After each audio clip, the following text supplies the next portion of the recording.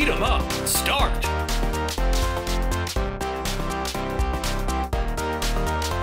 New challenge accepted. Today's game, Double Dragon 2. Let's beat them up.